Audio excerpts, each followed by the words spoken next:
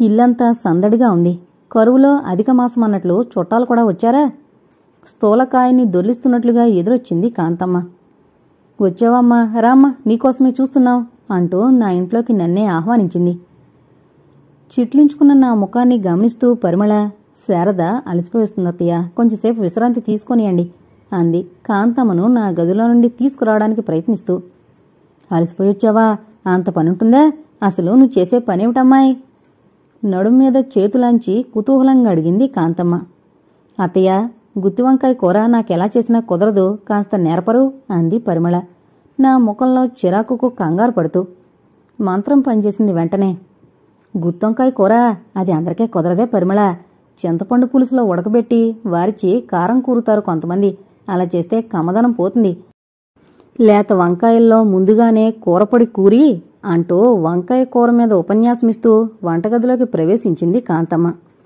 దిగాలు పడిపోయాను. ఈ కాంతమ్మ రావుకు మేనత్త. సొంత మేనత్త కూడా కాదు ఏదో వరసకు మేనత్త.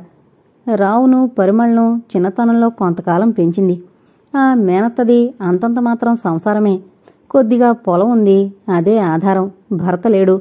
ఒకే ఒక్క కొడుకు రాఘవ పుట్టి గుడ్డి. రావును ఆ మేనత్త పెంచిందో లేక ఆ మేనత్తకే రావు ఆధారమయ్యాడో చెప్పడం కష్టం. పసితనంలో ఆవిడేం చూసిందో అంతే. జ్ఞానం వచ్చిన దగ్గర నుండి రావు స్వయం కృషితోనే పైకొచ్చాడు. మేనత్త పొలం వ్యవహారాలు కూడా తనే చూసేవాడు. ట్యూషన్లు చెప్పుకుని బిఏ పాస్ అయ్యాడు తన చదువే అంతంత కష్టంగా కొనసాగించుకున్న రావు అసలు పరిమళ చదువుకు ప్రయత్నించలేదు. పరిమళకు ఏదో చదవడం రాయడం వచ్చు. అహర్నిశలు ఇంటి పనిలో మునిగి తేలే పరిమళకు చదవాలనే ఆశ లేదు చదువుకోగలిగే అవకాశమూ లేదు. ఇబ్బందిగా ఉన్న రోజుల్లో చుట్టాలు కూడా ఏంటని ఆలోచిస్తూ పడుకునున్నాను. హాల్లోంచి రావు గొంతు వినిపించి రావుతో మాట్లాడాలని వచ్చాను. నడిపించుకుంటూ తీసుకొచ్చి కుర్చీలో కూర్చోబెట్టాడు రావు. అతన్ని చూసేసరికి మరింత బరువు పేరుకుంది మనసులో. వీళ్ళెందుకొచ్చారు? రావు కృత్రిమపు నవ్వుతో శారదా మన రాఘవ్కు ఆపరేషన్ చేస్తే కళ్ళొస్తాయని ఎవరో అన్నారట. చూపించుకుందామని వచ్చారు శుభవార్త కదూ? అన్నాడు. శుభవార్తే ఏసడింపుగా అన్నాను. రాఘవ్కు గుడ్డే కాని చెవుడు లేదు. నా స్వరంలో ఏసడింపు స్పష్టంగా వినిపించింది. మేమిక్కడ ఉండడం వల్ల మీకు ఇబ్బంది అక్కయ్య గారు అన్నాడు నొచ్చుకుంటున్నట్లు. రావు కల్పించుకుని ఆహా అదేం లేదు. మాకేం ఇబ్బంది. మీరంతా వచ్చినందుకు సంతోషంగా ఉంది అన్నాడు. తలెత్తి నా వంక చురుగ్గా చూశాడు. ఆ చూపుల అర్థం నేను గ్రహించినా మాకేం ఇబ్బంది లేదని నేను అనలేదు. గిరుక్కున వెనక్కు తిరిగి వెళ్ళిపోయాను. అక్కయ్య గారు ఏదో అనబోయాడు రాఘవ. శారద లేదు వెళ్ళిపోయింది. నెమ్మదిగా అన్నాడు రావు.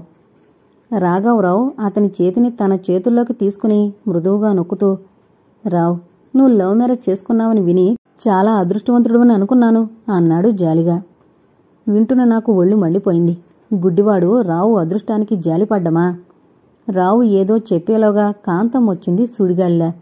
వచ్చావా? డాక్టర్ గారు ఏమన్నారు? ఎన్నాళ్ళలో కళ్ళొస్తాయన్నారు? మళ్ళీ మా ఊరికి ఎప్పుడు వెళ్ళిపోవచ్చు? ఆవిడకు ప్రశ్నలు వేయడమే తెలుసు కానీ సమాధానాల కోసం ఆగడం తెలీదు. ఈవేళ పరీక్ష చేశారు అత్తయ్య. ఎల్లుండి రమ్మన్నారు. ఆపరేషన్ చేసేది లేంది చెబుతానన్నారు. అమ్మ బాబోయ్! ఎల్లుండి దాకా ఆగాలా? ఎల్లుండైనా చెబుతారో లేక పది రోజులు ఆగమంటారో? అప్పటికైనా చెబుతారా? అబ్బబ్బా ఊరుకో అమ్మా. ఎల్లుండి వరకు ఏ సంగతి తెలీదు. విసుగ్గా తల్లి కడ్డు పడ్డాడు రాఘవ. కాంతమ్మ గారి దగ్గర విషయాలకు కొదవలేదు. ఆవిడ మాట్లాడకుండా ఉండలేదు. ఆపరేషన్ నుండి వంకాయ కూరలోకి మారిపోయింది ప్రసంగం. ఈరోజు గుత్తి వంకాయ కూర నేనే చేశాను. ఒరే చిట్టి ఆవిడ రావును చిట్టి అని పిలుస్తుంది. ఎంత బాగా కుదిరిందనుకున్నావు అంతా నా గొప్పే కాదనుకో. కాయలు లేతవి. కాదన్ను కానీ చేయడంలో కూడా ఉంటుందిగా. ఏ మాట కామాట చెప్పుకోవాలి. పొడి పరిమళ బాగా నూరింది. పొడిని బట్టి కూడా రుచొస్తుందిగా. చింతపండు అవి నేనే వేశాను. నూనె బాగా పడుతుందిరా. మన బొటివాళ్ళం రోజు చేసుకోలేం. తల్లి మాట్లాడుతున్నంతసేపు రాఘవయ్య మధ్య మధ్య మూలుగుతూనే ఉన్నాడు. కాని రావు మాత్రం శ్రద్ధగా వింటున్నట్లే నటించాడు. అబ్బా నోరూరుతోందత్తయ్య నీ వంకాయ కూర తలుచుకుంటే లేని ఆకలి పుట్టుకొస్తోంది అన్నాడు. ఆవిడ పొంగిపోయి రండి రండి వడ్డిస్తాను అంది. రావు నన్ను కూడా రమ్మన్నాడు. నేను పరిమళతో తర్వాత తింటాను విసురుగా అన్నాను. రాఘవ ముఖం వడలిపోయింది. కాంతం మాత్రం మా తల్లే ఏం వినయం? చదువుకున్న ఆడదంటే అలా ఉండాలి. మగవాడు తిన తర్వాత తినాలి అంటూ పొంగిపోయింది. నా చికాకు అర్థం చేసుకునే పరిమళ కాంతమ్మను కూడా కూర్చోబెట్టి వడ్డించేసింది. తింటున్నంతసేపు ఆవిడ పటపటా వాగుతూనే ఉంది. రాఘవ విసుకుంటూనే ఉన్నాడు. రావు శ్రద్ధగా వింటున్నట్లు నటిస్తూనే ఉన్నాడు. వాళ్ళ భోజనాలయ్యాక పరిమళ మా ఇద్దరికి వడ్డించింది. ఎన్నాళ్ళుంటారు వెళ్ళెక్కడా? కసిగా అడిగాను. ఏమో వదిన వచ్చిన వారిని ఎలా వెళ్ళమనగలం? తల వంచుకుని అందామె ఎలాగో భోజనం ముగించుకుని యువతల పడ్డాను. కాంతమ్మ గట్టిగా పెంకులు ఎగిరిపోయేలా మాట్లాడేస్తోంది. ఈ రణగొణ ధ్వనిలో ఎలా రాసుకోను? దేవుడా రాయాలనే తపన ఎక్కువవుతున్న కొద్దీ నాకిలా ఆటంకాలు ఎదురవుతున్నాయేమిటి? ఎప్పటికో కబుర్లు ముగిసి నా దగ్గరకొచ్చాడు రావు. పైకప్పు వంక చూస్తూ పడుకున్న నన్ను చూస్తూ ఇంకా నిద్రపోలేదా? అన్నాడు అనునయంగా ఎలా పడుతుంది? శారదా దగ్గరికి తీసుకోబోయాడు విదిలించుకొట్టాను దెబ్బతిన్నట్లయి అంతలో సర్దుకున్నాడు. శారదా ప్లీజ్ కొంచెం రోజులు ఎలాగో సర్దుకో. తల్లి తండ్రి లేని అనాథల్ని మమ్మల్ని పెంచి పెద్ద చేసింది. నాకదంతా తెలుసు. ఎవరు ఎవరికి ఎంత చేశారో కూడా తెలుసు. ఎంత చేశారో అన్నది ప్రధానం కాదు శారదా. ఎంత అభిమానంతో చేశారో అన్నది ప్రధానం. ఇప్పుడు మనం ఉన్న స్థితిలో మరో ఇద్దరిని భరించగలమా? మన పరిస్థితి బాగున్నప్పుడు వాళ్ళొస్తారా? ఏదో అవస్థ పడాలి. అవును అవస్థ పడాలి. అన్ని అవస్థలు పడ్డానికి నేను సంపాదించి పోస్తుంటే నువ్వు అభిమానాలు గుమ్మరించగలవు. ప్రాధేయపూర్వకంగా పలుకుతున్న రావు కంఠం అకస్మాత్తుగా మోగబోయింది. ఎందుకో వణికాను. రావు ఏం సరదా అతి ప్రశాంతంగా ఉంది రావు స్వరం మంచులా చల్లగా. కొంచెం రోజులైతే పర్వాలేదు కానీ ఏదో అనబోయాను. గట్టిగా నవ్వాడు రావు. అవేవీ ఆలోచించకుండా సుఖంగా పడుకో సరదా ఏదో ఇబ్బంది రాకుండా నేను చూసుకుంటాను. మెత్తగా అన్నాడు రావు. ఆ మెత్తదనం నా మనసును చుట్టుకుని మిలిపెట్టింది. అతని దగ్గరగా కౌగులించుకుని పడుకోవాలనిపించింది. కాని ఒక్కసారి అతని చేతుల్ని విదిలించాక కనీసం ఆనాటికి రావును సమీపించలేనని నాకు తెలుసు. అతను ప్రశాంతంగా నిద్రపోతున్నాడు. నాకు నిద్ర రాదు శాంతి లేదు తృప్తి లేదు సుఖం లేదు. ఈ పేదరికంలోంచి విముక్తి ఎలా వస్తుంది? అయ్యో నా రచన. ఇల్లంతా సందడిగా ఉన్నప్పుడు రాయలేకపోయాను. ఇప్పుడు ఇల్లు ఎంతో ప్రశాంతంగా ఉంది. అయినా కలం కదలడం లేదు. గుండెల నిండా పేర్కొన్న ఈ బరువును ఎలా తొలగించుకోగలను? పరిస్థితులతో రాజీ పడగలిగే సహనం లేదు. ఎదురు తిరిగి నా స్వార్థం మాత్రమే చూసుకునే క్రౌర్యమూ లేదు. అందుకే నేను నలిగిపోయి ఎదుటి వాళ్ళను క్షోభ పెడుతున్నాను. ప్రశాంత సమయం దొరికితే రాసుకోవాలని తాతహలాడిన నేను అలాంటి సమయం దొరకగానే రాసుకోవడానికి మారుగా బల్ల మీద తలానించి ఏడుస్తున్నాను. ఎవరూ లేరు నన్ను చూడ్డానికి. నా అంతరాంతరాల్లో కల్మషమంతా కన్నీళ్ళ రూపంలో స్వేచ్ఛగానే ప్రవహిస్తోంది. ఏవో రెండు శుతిమెత్తని చేతులు నా కన్నీళ్ళు తుడిచాయి. ఉలిక్కిపడి తలెత్తాను. పాప బిత్రపోయి నన్ను చూస్తోంది. నా కన్నీళ్ళతో తడిసిన పాప లేత చేతుల్ని ముద్దు పెట్టుకుని పాపను ఎత్తుకున్నాను. నా ఆవేదనంతా శాంతించినట్లయింది. అప్పుడు స్ఫురించింది. పాపొక్కతే ఎలా వచ్చిందని? పాపను ఎత్తుకుని హాల్లోకొచ్చాను. ఫేమ్ కుర్చీలో కూర్చుని పత్రిక తిరిగేస్తున్న రావు నన్ను చూసి చిరునవ్వు నవ్వాడు. రావు నవ్వు ఎంత అందంగా ఉంటుంది? హేళనగా తిరస్కారంగా గంభీరంగా విషాదంగా ఎలా నవ్వినా రావు నవ్వు అందంగానే ఉంటుంది. అప్పటి రావు నవ్వులో జాలి లేదు తిరస్కారమూ లేదు ఆప్యాయత నిండుంది. అందుకే మరింత అందంగా ఉంది. నా రావు నా పాప ఉండగా నేను నేను ఒంటరినెలా అవుతాను? ఎందుకీ అజ్ఞాత భయం నాకు? నా అంతరాంతరాల్లో నాకే తెలియకుండా అణిగిన చీకటి తలపుల మరో రూపమా ఈ భయం? ఒక్క మాట మాట్లాడితే ఆ వాతావరణంలో సౌందర్యం చెదిరిపోతుందేమో అన్నట్లు రావు చిరునవ్వు చూస్తూ కూర్చున్నాను. ఏంటలా చూస్తావు శారదా? చిరునవ్వుతో అడిగాడు. నేను సమాధానం చెప్పలేదు. చెప్పనక్కర్లేదు. రావుకు సమస్తమూ తెలుసు నేనేమిటో నా ఆలోచనలేమిటో నాకంటే బాగా తెలుసు. అప్పుడప్పుడు నా అశాంతికి కారణమేమిటో రావునే అడగాలనిపిస్తుంది. రావుకు తెలుసుంటుందని గాఢ విశ్వాసం నాకు. కాని నా ముందే నేను నిర్భయంగా పరుచుకోలేని నా మనసు రావు ముందు ఎలా విప్పగలను? ఒక్కసారి రావు నెర్వస్గా గొంతు సర్దుకున్నాడు. ఏదో అవాంఛనీయ విషయాన్ని చెప్పబోతున్నాడన్నమాట. నాకేదీ వినాలం లేదు. అలా పాపను ఒళ్ళో కూర్చోబెట్టుకుని రావును చూస్తూ కూర్చోవాలనిపించింది. శారదా అత్తయ్యను రాఘవను నా స్నేహితుడు లతీఫ్ ఇంట్లో ఉంచాను. హాస్పిటల్కి లతీఫ్ ఇల్లు దగ్గర. మన చుట్టాలను మన ఇంట్లోనే ఉంచుకోవడం సభ్యతనుకో. కానీ సభ్యత కోసం పాపం వాళ్ళని ఇబ్బంది పెట్టలేంగా? లతీఫ్ చాలా మంచివాడు పెద్దిల్లు. మన వాళ్ళంతా ఉన్నా అతనికి ఇబ్బంది ఉండదు. పరిమళ అక్కడే ఉంది. నేను వస్తూ పోతూ ఉంటాను. ఏటో చూస్తూ పాఠం అప్పచెప్పినట్లు గబగబా చెప్పేస్తున్నాడు రావు. నాకు అర్థమైపోయింది. తన బంధువులు మా ఇంట్లో ఉండడం నేను సహించలేకపోయాను. అందుకని రావు ఏనాడు చేయని పని తన స్నేహితుడిని బ్రతిమాలి వాళ్ళింట్లో పెట్టాడు. భార్యనైన నాకంటే ఒక స్నేహితుడు రావుకు సహాయపడగలిగాడు. తన మనసును కోసే ఈ విషయాన్ని చిరునవ్వుతో సాధ్యమైనంత మృదువుగా అతి సాధారణంగా చెప్పుకుపోతున్నాడు రావు. నా మూర్ఖత్వానికి క్షమాపణ కోరుకోవాలనిపించింది. వాళ్ళందర్నీ తెచ్చి ఇక్కడే ఉంచమని ప్రాధేయపడాలనిపించింది. కానీ ఏదీ చేయలేకపోయాను. రావు నన్ను దూషించుంటే నా బంధువులు నా ఇంట్లో ఉండడానికి వీల్లేదా అని దెబ్బలాడితే అతనిని క్షమాపణ కోరడం నాకు తేలికై ఉండేది. ఆప్యాయంగా మాట్లాడుతూ ఎదురు నన్నే క్షమాపణలు కోరుతున్న ధోరణిలో వాళ్ళ అనుకూలం కోసమే వాళ్ళు మరో చోట ఉన్నట్లు మారిచి చెప్తుంటే క్షమార్పణలకు ప్రసక్తి ఎక్కడా? అయినా ప్రయత్నం మానలేకపోయాను. ఇక్కడే ఉండమని రావు. పర్వాలేదు. తల వంచుకుని అన్నాను. రావు నవ్వాడు. లతీఫ్ వాళ్ళకప్పుడే అన్ని ఏర్పాట్లు చేసేశాడు. ఆ ఇల్లు వదిలి నువ్వు రమ్మన్న వాళ్ళు రారు. లతీఫ్ అంటే అనుమానంగా తలెత్తి చూశాను. రావు నిర్లక్ష్యంగా నవ్వాడు. అందరూ చెప్పుకునే ఆ లతీఫ్ ఇంట్లోనే క్షణంసేపు మాట్లాడలేకపోయాను. ఆ లతీఫ్ గురించి రకరకాల గాథలు ప్రచారంలో ఉన్నాయి. అతని తల్లి ఆంగ్లో ఇండియన్ తండ్రి మహమ్మదీయుడు ఏదో రాజవంశీకుడు అంటారు తాగుబోతు జోదరి వ్యభిచారి అని చెప్పుకుంటారు. బాగా డబ్బు అంతకు మించిన పొలుకుబడి కలవాడని పబ్లిక్గా ఇంటికే వ్యభిచారులను పిలిపించుకుంటాడని పోలీసు అధికారులు పై ఆఫీసర్లు అందరూ తెలిసిన వారవడం చేత అతన్ని ఎవరూ ఏమీ చేయలేరని కూడా విన్నాను. ఆ లతీఫ్ నీకు స్నేహితుడా? అవును చాలా దగ్గర స్నేహితుడు.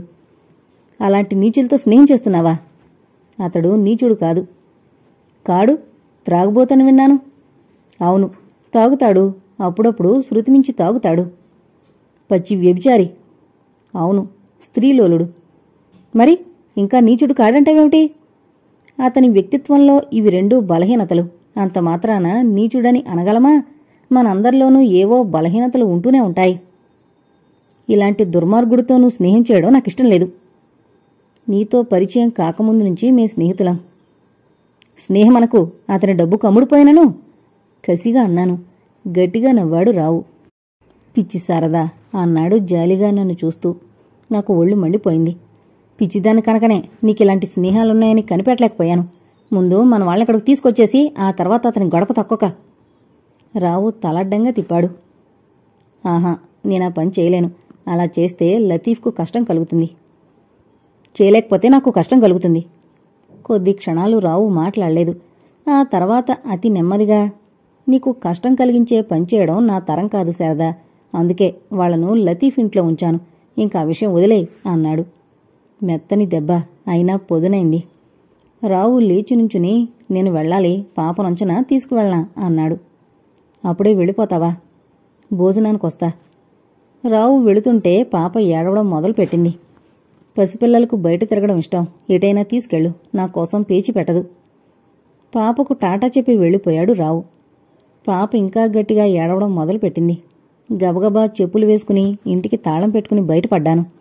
వచ్చే పోయే కార్లను బస్సులను జనాన్ని చూస్తూ పాప పేచి మరిచిపోయింది. పాప ఆకలికి ఏడుస్తోంది. ప్రతిరోజు వంట బాధ్యత పూర్తిగా పరిమళ తన మీదే వేసుకోవడంతో ఆ విషయమే మరిచిపోయాను. పాప ఆకలికి ఏడుపు మొదలుపెట్టే వరకు వంట చేయాలనే విషయమే గుర్తు రాలేదు. ఏడ్చే పాపను సముదాయించాలో వంట చేయాలో తెలియక రెండూ చేయలేక తెక్మక పడుతున్నాను. ఆ సమయంలో వచ్చాడు రావు. పాప ఏడుస్తోంది అన్నం పెట్టాయి అన్నాడు. లజ్జతో ముడుచుకుపోయాను. వండాలి అన్నాను. అతను ఏం చెబుతాడోనని భయపడ్డాను. హుషారుగా నవ్వాడతను. మతిమరుపు గొప్పవాళ్ళ లక్షణం. ఇంక చూసుకో నువ్వు నిజంగా గొప్ప నవలలు రాసేస్తావు. పాపను నేను ఆడిస్తాను త్వరగా వంట పూర్తి చేయి పొంగిపోయాను. అతని సహృదయతను లోలోన ఎంతో మెచ్చుకున్నాను. వంట కాగానే పాపకు నేనే అన్నం తినిపించాను. పాప పెద్దదవుతోంది. పేచీలు లేకుండా గడిచిపోతోంది. అతను నేను చాలా సరదాగా గడిపాం ఆ రోజు. ఆ మర్నాడు అతను తయారవుతుంటే ఎక్కడికి? అన్నాను. లతీఫ్ ఇంటికి. రాఘవను హాస్పిటల్కి తీసుకెళ్ళొద్దు నేనేం మాట్లాడలేదు. నా ముఖంలో అప్రసన్నత అర్థం చేసుకున్నాడు రావు. అనునేస్తున్నట్లుగా అన్నాడు. బాగుండదు శారదా వీలైతే నువ్వు ఒకసారి రా. నువ్వు వాళ్ళందరినీ ఇక్కడికే రమ్మన్నావని చెప్పాను. అత్తయ్య పొంగిపోయింది. అప్పటికీ మాట్లాడలేదు నేను. రావు బుజ్జగిస్తున్నట్లుగా అన్నాడు. వస్తాను. వెంటనే అనేశాను. అపరాధ భారంతో కుచించుకుపోతున్న నాకు అతని లాలన ఏదో మహదాశీర్వాదంలా తోచింది. ఇంకా అతని మనసు కష్టపెట్టగలిగే శక్తి లేకపోయింది. అందుకే వాళ్ళ మధ్యకి వెళ్ళడం ఎంత ఇష్టం లేకపోయినా రానని అనలేకపోయాను. పాపనిక్కడ ఉంచునా? తీసుకువెళ్ళనా? ఇక్కడే ఉంచు. పాప కూడా లేకపోతే ఒక్కదానికి నాకేం తోచదు. అతను ఏదో అనబోయి ఆగిపోయి సందేహిస్తున్నట్లుగా నా ముఖంలోకి చూడసాగాడు. ఏంటి? పాప ఇంకా పసిపిల్ల ఒక మనిషి ఎప్పుడూ చూసుకుంటూ ఉండాలి. నేను చూసుకోలేనా? రోషంగా అన్నాను. కన్నతల్లి తర్వాతే ఎవరైనా? కానీ? కానీ? మరి మరి నీకు సెలవు దొరుకుతుందా? చెళ్ళుని తగిలింది. పాలిపోయిన ముఖంతో అతని ముఖంలోకి చూశాను. అది భరించలేనట్లు నీకెలా తోస్తే అలా చేయి. ఒకవేళ పాపను పరిమళకు అప్పగించదలిస్తే లతీఫ్ ఇంటికి రా. మీ ఫ్రెండ్ శాంతింటి సందులోనే ఆ సందులో ఉన్న లేత నీలం రంగు మేడ తేలిగ్గానే గుర్తుపట్టగలవు అనేసి గబగబా వెళ్ళిపోయాడు. రావు వెళ్ళిన ఎంతో సేపటికి గాని కోలుకోలేకపోయాను. ఫోన్ ఉన్న పొరిగింటికి వెళ్ళి డైరెక్టర్ గారికి ఫోన్ చేశాను. సీఎల్ కావాలని. ఇదే పని ఇంతకుముందు చేసుంటే నిక్షేపంలాంటి రావు ఉద్యోగం పోయిండేది కాదు. వచ్చిరాని పాప తొలి పలుకులు వినడం పాపతో ఆడుకోవడం కొంతసేపటి వరకు చాలా హాయిగా అనిపించింది. ఆ తర్వాత నా మనసు నా కాగితాల మీదకు పరిగెత్తనారంభించింది పాప ముందు లక్కపెడతలు పడేసి రాసుకోవడం మొదలుపెట్టాను. మధ్యలో ఎందుకో తలెత్తి చూసేసరికి పాప లక్కపెడతల ముందు లేదు. కంగారుగా ఇల్లంతా చూశాను. వంటింట్లో పాప చేస్తున్న పని చూసేసరికి నవ్వాగలేదు నా నవ్వు విని పాప కూడా ఇటు తిరిగి నవ్వింది. పెన్లో సిరా పోసుకుని సిరాబుడ్డి మూత వేయడం మరిచిపోయాను. పాప ఆ సిర తన ఒంటి నిండా పోసుకుంటూ ఆ బుడ్డి వంటింట్లోకి తీసుకెళ్ళి పాలల్లో కొంచెం సిర అన్నంలో మరికొంచెం సిరా పోసి ఇంకా ఏమున్నాయో అని వెతుకుతోంది. మొదట పాప చిలిపి అల్లరికి నవ్వొచ్చినా మళ్ళీ చేయవలసిన పనులు తలుచుకునేసరికి నీరసం వచ్చినట్లయి విసిగేసింది. పాపకు మళ్ళీ స్నానం చేయించాను. చచ్చినట్లు మళ్ళీ అన్నం వండాను. పాప ముందు మరిన్ని బొమ్మలు పడేసి సిరాబుడ్డి గట్టిగా మూతపెట్టి పైన పడేసి వంటింటి తలుపులు గట్టిగా వేసేసి మళ్ళీ రాయడానికి కూర్చున్నాను. పాపా అదేం పని? అన్న రావు ఆందోళన స్వరం విని ఉలికిపడి తలెత్తాను. బాత్రూం ముందు నిల్చునున్న రావును చూసి త్వరగా అక్కడికి వెళ్ళాను. పాప చెన్నెల డ్రమ్ములో మునిగి ఆ నీళ్ళను తపతప చేతులతో కొడుతోంది. రావు గబగబా పాపను లేవదీసి బట్టలు మార్చి తల తుడిచాడు. ఇప్పుడే కాస్త రాసుకోబోయాను. అంతలో కోపంతో తిరస్కారంతో బాకుల్లా గుచ్చుకుంటున్న అతని చూపులకు నోట్లో మాట ఆగిపోయింది. భోజనం చేస్తావా? చేసేశాను. అక్కడెందుకు చేసావు పరిమళ ఊరుకోదు. పరిమళ నువ్వు తినకపోతే కష్టపెట్టుకుంటుంది. నేను కష్టపెట్టుకోను కదూ? నువ్వు ఇంట్లో ఉన్నావని తెలిస్తే పరిమళ నేను అడిగిన అన్నం పెట్టకుండా ఇక్కడికే పంపేది. కానీ పరిమళకు ఆ సంగతి తెలీదు. ఎందుకు తెలీదు? నేనే చెప్పలేదు. ఎందుకు చెప్పలేదు?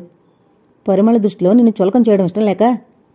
రోషంగా ఎత్తిన నా తల వాలిపోయింది. కొన్ని క్షణాలు మాట్లాడలేకపోయాను. పాప సంగతి అడగలేదా పరిమళ? అడిగింది. ఏమని చెప్పావు మరి? ఆయాను కుదిరిచానని చెప్పాను. అందుకే పాప ఎలా ఉందో చూసి రమ్మని నన్ను పంపించింది. మంచి సమయానికి వచ్చాను కదూ? మరో దెబ్బ తట్టుకున్నాను. పాపం తీసుకురమ్మని అడగలేదా పరిమళ? తన గుండెలు పగిలిపోతున్నా పరిమళ మరొకరిని ప్రాధేయపడదు. మా మధ్య మళ్ళీ మాటలు కరువయ్యాయి. రావు నేను దగ్గరగా వచ్చినట్లే వచ్చి అంతలో దూరమైపోతున్నాం. కొంచెంసేపు పాపతో ఆడుకుని రావు వెళ్ళిపోయాడు. ఏడుస్తున్న పాపను సముదాయించేసరికి తాతలు దిగొచ్చారు. పాపతో గంట రెండు గంటలు ఆడుకోవడం నాకు చాలా హాయిగా ఉంది. కానీ నా సమయమంతా పాపతో గడపాలంటే మాత్రం ఇబ్బందిగా ఉంది. పాప నా కర్మాన నన్ను ఆలోచించుకొనివ్వదు. ఎప్పుడూ దృష్టి తనే ఆక్రమించుకోవాలని చూసేది. తనను లక్ష్య పెట్టకపోతే పెద్దగా ఏడుపులు మొదలుపెట్టేది రావు పాపను తీసుకువెళ్ళిపోతే బాగుండనిపించింది కానీ అనలేకపోయాను. ఆ మర్నాడు భరించలేక పాపం తీసుకుని బయలుదేరాను. ఇల్లు తేలిగ్గానే గుర్తుపట్టగలిగాను. ఎదురుగా వస్తున్న పురుషమూర్తిని చూసి క్షణకాలం ఆగిపోయాను. పూర్తి మహ్మదియా వేషంలో ఉన్నాడు. దగ్గర దగ్గర అరవై సంవత్సరాల వయసు ఉంటుంది పెదవులు నవ్వుతున్నాయి కానీ ఆ నవ్వు ఎవరినో విక్రిస్తున్నట్లుగా ఉంది. కళ్ళు కోసుగా ఉన్నాయి. వాటిలో విషయాలాలస నాట్యం చేస్తోంది. పెట్టుకున్న టోపీలోంచి నెరిసిన జుట్టు కనిపిస్తోంది. నెరిసిన జుట్టు చెక్కిళ్ళ దగ్గర మడతలు ఇవి మాత్రమే అతని వృద్ధాప్యాన్ని సూచిస్తున్నాయి. మిగిలిన శరీరమంతా దృఢంగా ఉంది. ఇతడైనా లతీఫ్? నేను అతన్ని పరిశీలించిన దానికంటే రెండు రెట్లు నన్ను అతడు పరిశీలించాడని అర్థమైంది. మెరుపులా నన్ను దూసుకుపోయి వీధిలో ఉన్న ఖరీదైన కారులో కూర్చున్నాడు. లోపలికి నడిచాను. పరిమళ ముఖం మమ్మల్ని చూడగానే వ్యక్సించింది నన్ను పలకరించినైనా పలకరించకుండా పాపవైపు తిరిగి చేతులు జాపింది. పాప ఆ చేతుల్లో కురికింది. కొన్ని యుగాలు ఎడబాసిన వాళ్ళల్లా వాళ్ళిద్దరూ ఒకరినొకరు వల్లేసుకుంటుంటే నా హృదయం ఏదో బాధతో మూలిగింది. కాంతమ్మ మాట్లాడడం మొదలుపెట్టిందంటే ఇంకా అప్పట్లో ఆగదని అర్థం. అరగంట వరకు తలనొప్పి తగ్గదని అర్థం. అమ్మాయి ఎంత మంచిదానివే పాపం. మమ్మల్ని స్వయంగా తీసుకువెళదామని వచ్చావా? నాకు రావాలనే ఉందే. ఏం చేయను? ఆయన మన కులం కాదనుకో. ఆయన ఎంత మర్యాదస్తుడని మాకే లోటు రాకుండా చూస్తున్నాడు. అన్నట్లు పాప కులాసాగా ఉందా? ఈవేళ వంకాయ కూర వండాను. కాస్త రుచి చూస్తావా? ఉండు అన్నట్లు నా మతిమండా. అయిపోయినట్లుందే. అమృతంలా కుదిరింది కదూ? అందరూ ఊదేశారు. ఆయన ఇంట్లో మనిషిలానే ఉన్నాడు. ఎంత ఆప్యాయంగా తిన్నాడనుకున్నావు? తినడం నేను చూడలేదనుకో. ఎంతైనా మరి కులం పోగొట్టుకోలేంగా. అయితే ఎలా తెలిసిందంటావా? అతనే చెప్పాడు. అలాంటి కూర ఇంతకు ముందెప్పుడు అతను తినలేదట. అంత రుచికరమైన కూరలుంటాయని కూడా తెలియదట అమ్మా! విసుగ్గా రాఘవ మూడోసారి అడ్డుకున్నాడు. కాంతమ్మ వినిపించుకోలేదు. ఏమీ అనుకోకే శారదా. ఇంకోసారి వచ్చినప్పుడు తప్పకుండా మీ ఇంట్లోనే ఉండి నీకు రకరకాల వంటలు పిండి వంటలు రుచి చూపిస్తాను. పాపం ఉద్యోగాలకు పోయేవాళ్ళు ఏం వండుకుంటారు ఏం తింటారు? రోజురోజుకి ఎలా చిక్కిపోతున్నావో. ఈ మాయదారి ఉద్యోగాలొచ్చి ఆడవాళ్ళ అందాన్ని ఆరోగ్యాన్ని సహనాన్ని అన్నింటినీ తినేస్తున్నాయి. ఆనాటి మనుషులే వేరు. అమ్మా నువ్వు ఊరుకుంటావా లేదా? పర్వాలేదులేండి. ఆవిడ అన్నదానంలో తప్పేముంది అన్నాను. విసుగుదలతో తల బద్దలవుతున్నా. రాఘవ ముఖ కావళికలు ఆశ్చర్యాన్ని వ్యక్తం చేశాయి. నా మాటలకు అవి పలికినప్పటి నా స్వరంలోని మెత్తదనానికి రాఘవకు చాలా ఆశ్చర్యం కలిగింది. నన్ను గురించి రాఘవ అభిప్రాయమేమిటో స్పష్టంగా తెలియజెప్పింది ఆశ్చర్యం. క్షణకాలం ఏదో సంతోషంతో అతని కళ్ళు మెరిశాయి. రాఘవను చూడ్డానికొచ్చావా శారదా? ఇల్లు తేలిగ్గా గుర్తుపట్టగలిగావా? ఆప్యాయంగా అడిగాడు. గతుకుమన్నాను. ఇంతవరకు రాఘవ్కి ఎలా ఉందని అడగనేనా లేదు. రావు కళ్ళల్లో తళుకుమన్న సంతోషానికి కారణం అర్థమైంది. లోపల లజ్జపడ్డాను పాపం అక్కయ్య గారు నన్ను చూడ్డానికి శ్రమ తీసుకుని వచ్చారా? నొచ్చుకుంటున్నట్లన్నాడు. అతని ముఖంలో పశ్చాత్తాపం లాంటి భావమేదో కనిపించింది. మరింత ముడుచుకుపోయింది అంతరంగం. ఎలా ఉంది మీ ఒంట్లో? ఒంటికే రాయిలా ఉంది. కళ్ళు మాత్రమే లేవు. దిగులు పడకండి. ఆపరేషన్ అయితే వచ్చేస్తాయిగా. నీ అమ్మ కడుపు చల్లగా నీ అత్త కడుపు చల్లగా ఎంత చల్లగా ఎంత చల్లని మాట నావే తల్లి?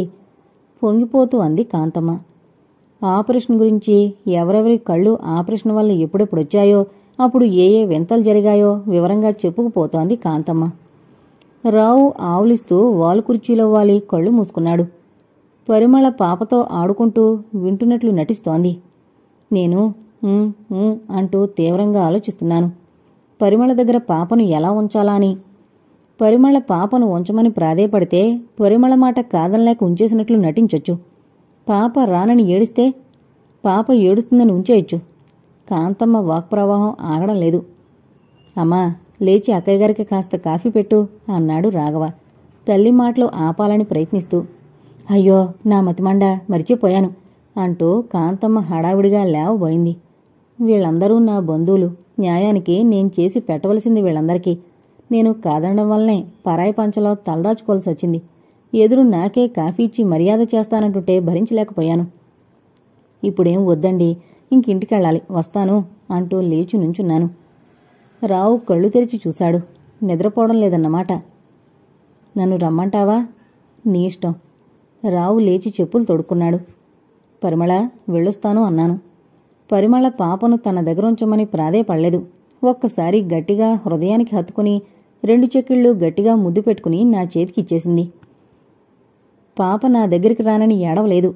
నా చేతుల్లోకి దూకి పరిమళకు టాటా చెప్పింది. పసిపిల్లలు తల్లిని ఎంత బాగా గుర్తించగలరు? ఏం చెయ్యాలిప్పుడు కాసేపు తటపటాయించి పరిమళ పాప నా దగ్గర ఉండని పేచీ పెడుతోంది. ఏం చేయను? అనేశాను. రావు ఉలికిపడ్డట్టయ్యాడు అతని కళ్ళల్లో కనిపించిన సంతోషం కరిగిపోయింది. నిశితంగా నన్ను పరీక్షించి ఒక్క నిట్టూర్పు విడిచాడు. నీ ఇష్టం వదినా నువ్వేం చేసినా నాకు సంతోషమే. మామూలుగా అనడానికి ప్రయత్నించిన పరిమళ ముఖంలో సంతోషం స్పష్టంగా ప్రతిఫలించింది. ఇప్పటికైనా తన నోటితో తను పాపను నా దగ్గరే ఉంచు అనలేదు పరిమళ. ఎంత అభిమానం. పోనీ పాపను నీ దగ్గరుంచుకుంటావా సంతోషంగా. పాపను పరిమళకందించాను పాప రానని ఏడ్చింది. బయటకు వెళుతున్నాను కదూ. అందుకని నాతో వస్తానని ఏడుస్తోంది. తీరా ఇంటికి వెళ్ళాక నీకోసం ఏడుస్తోంది. పేలవమైన చిరునవ్వుతో అన్నాను. ఇలా అయ్యొదినా పాపను నేను మరిపించగలను. నువ్వు ఇంటికెళ్ళి రాసుకో. గతుక్కుమన్నాను. అదొక మాదిరిగా నవ్వాడు రావు. రావుకు పరిమళకు కూడా అర్థమైపోయింది. పాపను తీసుకెళ్ళిపోయింది పరిమళ. మరో నిమిషానికి పాప నవ్వులు వినిపించాయి. రావుతో కలిసి బయటకు నడిచాను. లతీఫ్ ఎదురొచ్చాడు. హలో రావు ఎక్కడికి వెళుతున్నావు? నేను డ్రాప్ చేయనా? థ్యాంక్స్ వద్దులే. మా శ్రీమతికి బస్సు ప్రయాణమే ఇష్టమంట. అదేం కాదు కారులోనే ఇంకా సుఖంగా ఉంటుంది. చటుకుననేశాను రావు నా వంక చిత్రంగా చూశాడు. అంత క్రితం లతీఫ్ని గురించి నేను మాట్లాడిన మాటలను బట్టి లతీఫ్ కారులో రావడం నాకు ఇష్టం లేదని భావించుంటాడు రావు.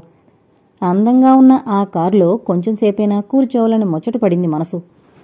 మెత్తగా రోడ్డు మీద సాగిపోయే ఆ కారులో కూర్చున్నాక బస్ కోసం గంటల తరబడి బస్టాప్లో వేచుండడం గుర్తుకొచ్చి ఏదో విసుగుదల తోచింది.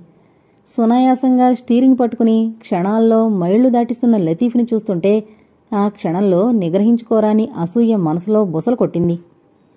ఇంటి ముందు కారాగ్గానే కిందకు దిగి అతనికి థ్యాంక్స్ చెప్పబోయాను. నా వైపు తల తిప్పి చూడకుండా మెరుపులా దూసుకుపోయాడు. అవమానంతో బొగ్గుమంది నా మనసు. వాడంతే ఫార్మాలిటీస్ అసలు పట్టవు. నా మనసు గ్రహించి నన్ను ఓదారుస్తున్నట్లు అన్నాడు రావు. ఆ నాటికి ఎంత ప్రయత్నించినా అందమైన ఆ కారును మర్చిపోలేకపోయాను.